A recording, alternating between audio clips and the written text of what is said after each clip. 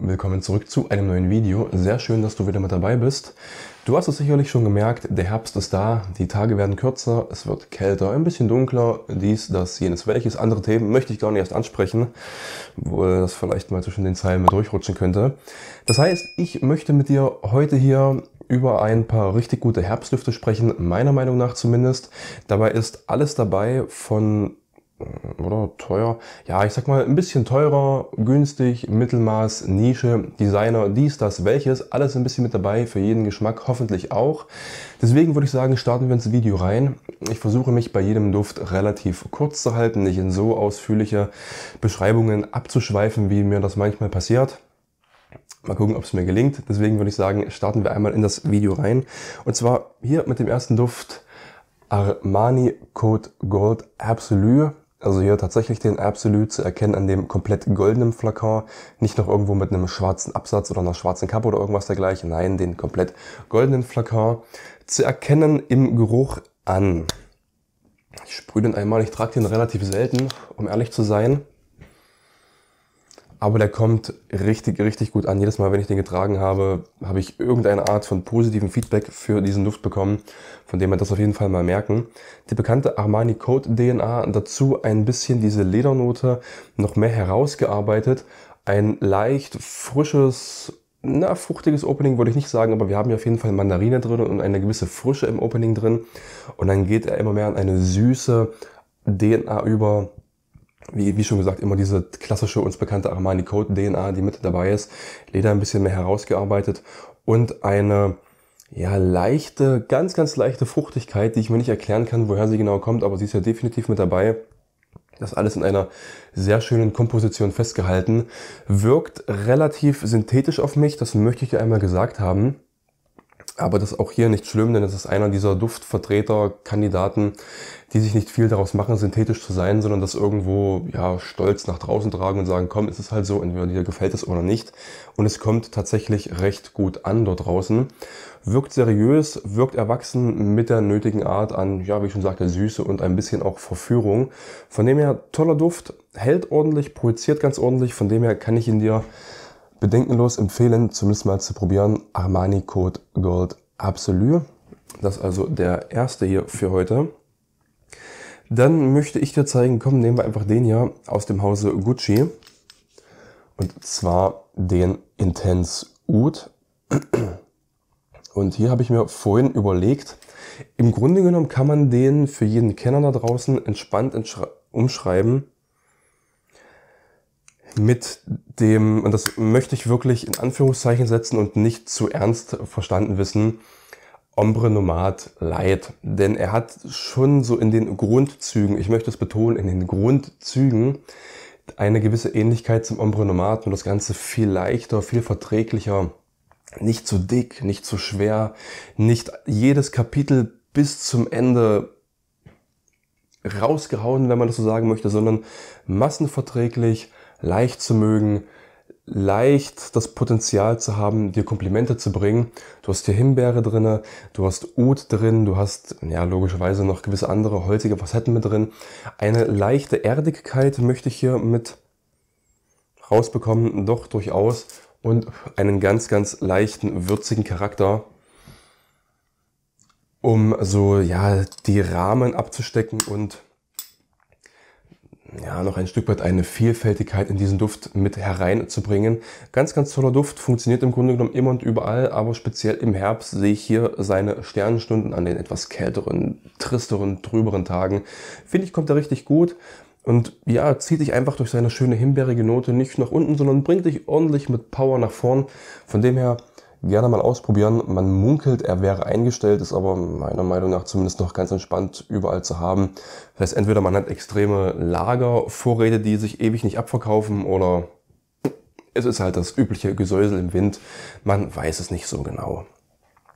Dann halte ich einmal ein Pröbchen hier in die Kamera, blende dir den Duft einmal irgendwo ein, wo Platz ist. Und zwar sprechen wir hier von Daniel Josier Ambre Tabak.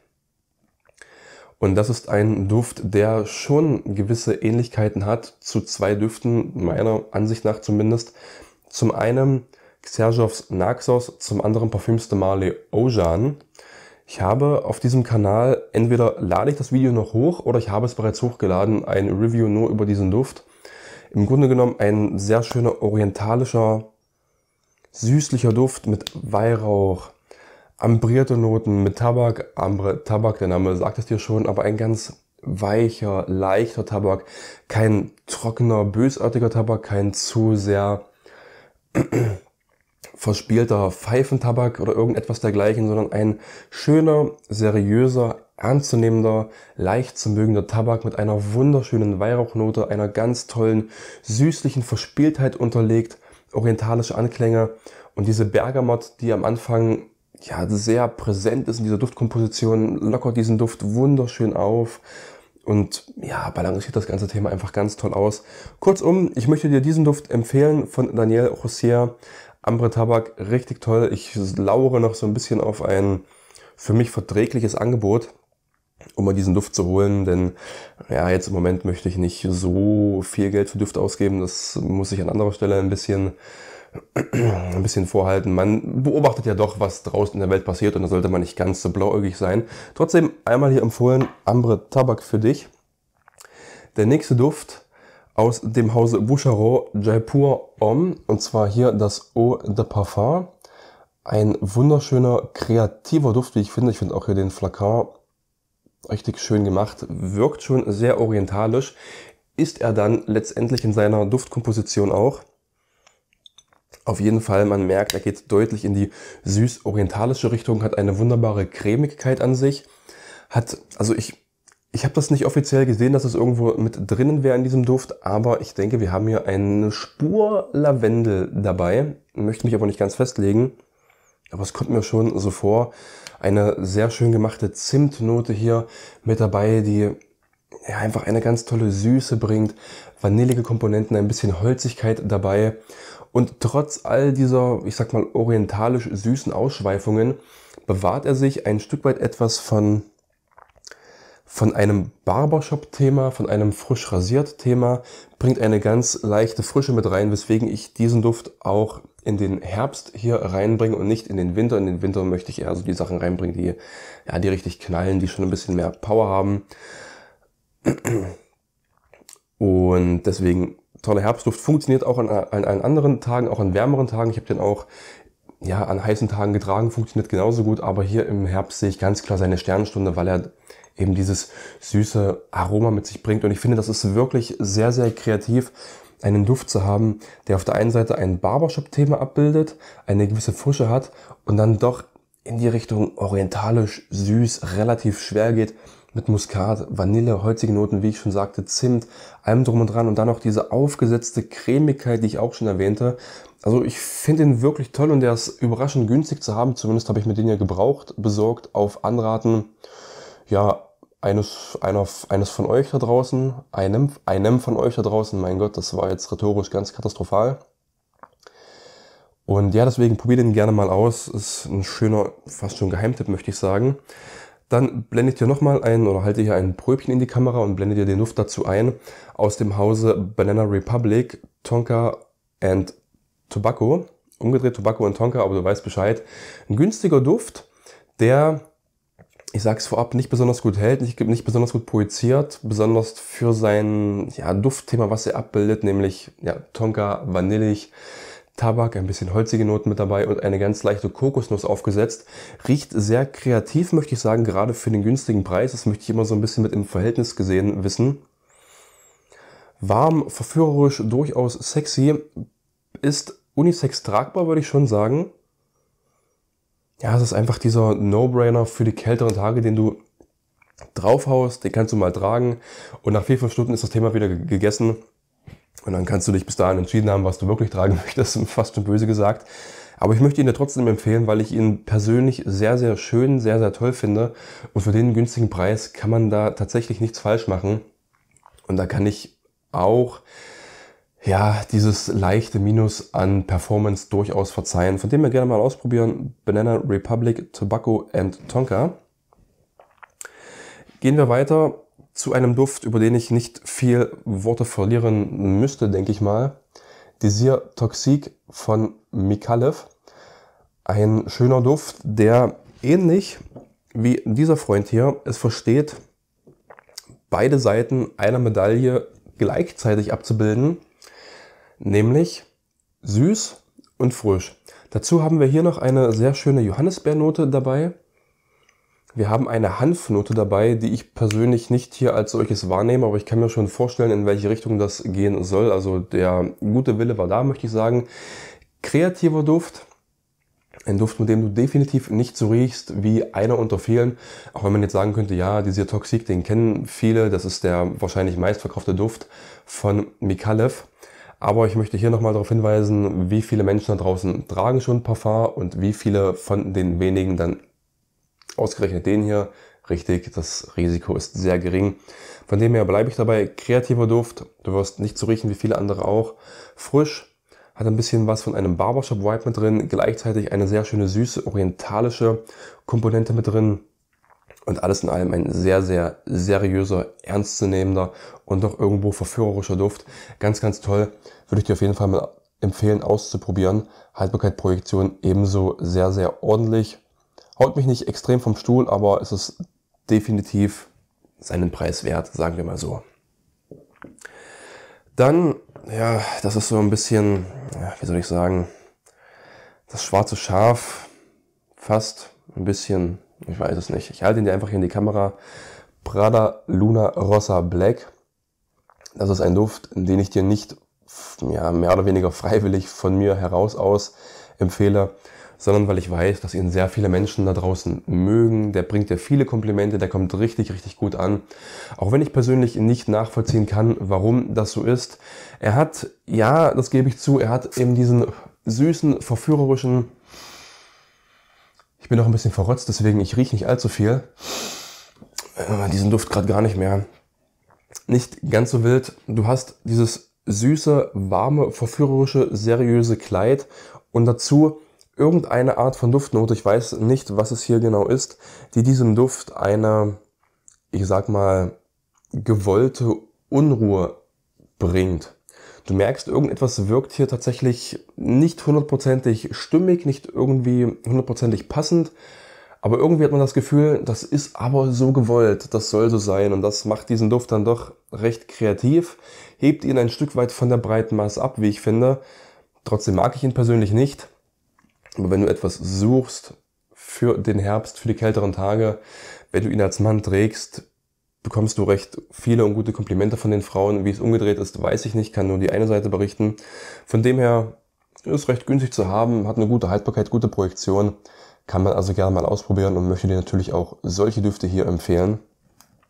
Von dem her ist er einmal mit dabei. Dann noch ja, fast schon einen Klassiker. Yves Saint Laurent L'Anneau Bleu Electrique. Das ist quasi, ja, kann man schon fast sagen, eine Wiederbelebung, eine Auffrischung des Klassikers L'Anneau de l'Homme, der, wie wir wissen, über die Jahre einige Reformulierungen erfahren hat und im Zuge dessen etwas von seiner Strahlkraft verloren hat und sehr eingebüßt hat. Und dann hat man sich gedacht, Mensch, warum den alten wieder ein bisschen aufpeppen, wenn ich doch was ganz Neues bringen kann und damit Geld verdienen kann. Genau das hat man hier gemacht. Funktioniert ganz gut, gefällt mir auch gut dieser Duft. Hat im Vergleich zum Original ein bisschen was an seiner Süße, an seiner Verführung eingebüßt, aber nur so ein klein bisschen und bringt dafür etwas mehr Frische in das Thema rein und hebt den Duft so ein Stück weit mehr auf den Zahn der Zeit. Das heißt, man hat die DNA ein bisschen modernisiert. Wobei man auch sagen muss, ist es modern oder modern, aber das ist auch wieder ein anderes Thema. Was wollte ich sagen? Der originale Lano Idelom einfach nur ein bisschen frischer, ein bisschen moderner und was wichtig ist, mit besserer Haltbarkeit, bessere Projektion. Ich bitte das hier nicht falsch zu verstehen. Es ist nicht so, dass dieser Duft jetzt über alle Maßen gut hält und über alle Maßen gut projiziert. Er macht es nur einfach besser als die aktuellen Versionen des Lano Idelom. Das möchte ich hier nochmal betonen. Trotzdem ein Komplimentefänger par excellence. Der kommt einfach gut an, der erfüllt seine Pflicht. Das ist es ist einfach ein toller Duft, kostet nicht zu viel, von dem her probieren mal aus, wenn du auf dieses leicht süßliche, leicht orientalische Thema stehst, mit viel, viel Kardamom und das Ganze eben mit einer leichten Frische durchsetzt im Vergleich zum Original. Dann hau dir den drauf. besonders wenn sie darauf ankommt, gutes Feedback zu bekommen von deinem Umfeld. Dann habe ich hier noch aus dem Hause Comme de Garçon den Florienthal. Ich finde, der ist ein bisschen wenig beachtet unter den Parfümfreunden da draußen, kann gar nicht verstehen, warum. Bis auf einen Punkt, da kann ich es eventuell nachvollziehen. Ich weiß nicht, ob man das hier in der Kamera erkennt. Diese, dieses Flakon-Design ist so furchtbar, es ist schön anzusehen, aber du kannst ihn nirgendwo hinstellen, er fällt dir sofort um. Das heißt, du kannst ihn einfach nur irgendwo hinlegen und dann war es das. Ist blöd, deswegen habe ich mir hier so ein Gestell gebastelt. Ich weiß nicht, ob man das hier in der Kamera erkennen kann. Kann man den einfach reinsetzen, zack, und dann steht er auf seinen drei Füßen bei mir im Schränkchen. Sieht scheiße aus, aber naja, es hält zumindest. Riecht im Grunde genommen, jetzt auf den Duft zu kommen. Das ist furchtbar, die Nase, die ist sowas von zu. Pflaumenlikör, du hast Zimt drin, du hast orientalische Noten drin und du hast Labdanum drin, was diesem Duft eine eine leichte, ich sag mal, ambrierte, schrägstrich harzige Komponente hinzufügt. Ist ein ganz, ganz toller Duft. Ist nicht stark genug, dass ich ihn dir hier im Winter empfehlen könnte. Ist nicht so sehr der Immergeher, dass ich sagen könnte, komm, trag den auch unbeschwert im Sommer, wobei ich das natürlich auch mache, das ist gar kein Problem. Der vergrault dich nicht zu sehr. Aber hier eben das Thema, das ist der Duft gemacht für den Herbst, für die etwas kühleren Tage, aber da kannst du ihn immer und überall tragen. Dein klassischer orientalischer, süßlicher, verführerischer Duft. Hier eben mit dem Thema Pflaumenlikör und das ist so toll umgesetzt, so kreativ, so außerhalb der Reihe. Einfach top. Von dem her probiere den gerne mal aus. Floriente von Comme de Garçon. Wir packen wieder das Gestell drunter und stellen ihn hier daneben. Man muss sich halt nur zu helfen wissen heutzutage, ja. Letzter Duft. Ich verliere wenige Worte. Parfüms de Marley Herod. Viele sagen Sex in der Flasche. Tabak, Vanille, Osmanthus. Tabak habe ich schon gesagt und ja, nicht so viel mehr. Noch ein paar orientalische Einschläge ringsum. Ich meine, dass hier eine kleine Ecke Weihrauch mit dabei ist. Und ja, es ist einfach ein toller, verführerischer Parfüms der Male-Duft, wie wir es kennen. Könnte ein bisschen bessere Haltbarkeit haben, könnte ein bisschen bessere Projektion haben. Zumindest so die Batch-Reihe, woraus ich hier einen habe, ist so ein bisschen am Schwächeln. Man sagt, danach kam noch mal ein bisschen was Stärkeres raus. Aber du kennst das übliche Spiel mit den Reformulierungen und dem ganzen, dem ganzen Quark eben. Es wird halt nicht besser. Da gibt es sicherlich Ausweichmöglichkeiten, die man gehen kann. Mache ich mal ein separates Video drüber. Ich möchte ihn dir trotzdem empfehlen, weil er dir viele, viele Komplimente bringt, er trotzdem gut hält und gut projiziert, auch wenn es besser sein könnte. Von dem her für den Herbst einfach ein perfekter Duft aus dem Hause Parfüms de Marley.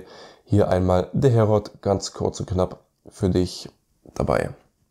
So, das war's. Ich hoffe, ich habe den Bogen nicht allzu sehr überspannt im Sinne von Videolaufzeit. Ich wünsche dir noch einen schönen Tag, bedanke mich bei dir fürs Zuschauen, mach's gut, bis zum nächsten Mal und ciao, ciao.